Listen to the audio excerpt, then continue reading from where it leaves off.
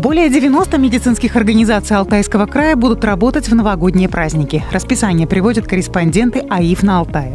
В небольших поликлиниках прием будет вести один дежурный участковый врач и одна-две медсестры. В крупных поликлиниках два-три доктора. В начале января поликлиники и центральные районные больницы будут открыты с 9 утра до 15 часов.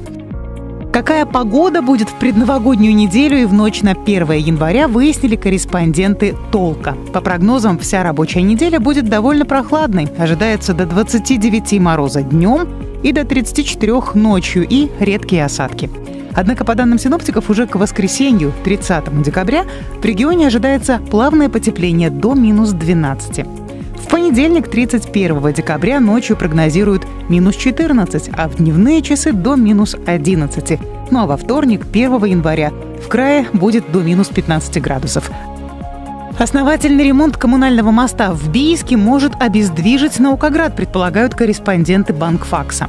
Администрация Бийска объявила аукцион на разработку проекта ремонта коммунального моста. Победитель конкурса должен быть выявлен в ближайшее время – но работы могут серьезно осложнить и без того непростую дорожную ситуацию в городе.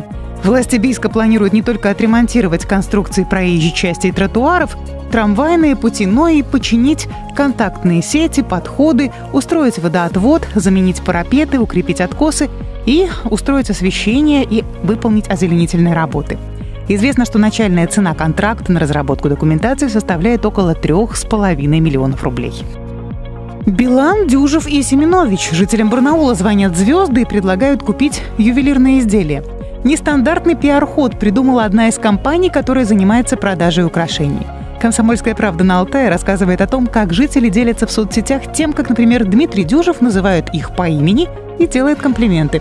Конечно, звонят звезды не лично, включается запись аудиоролика, и здесь не обходится без казусов. Например, некоторых мужчин Барнаула Дмитрий Билан уже называл принцессой.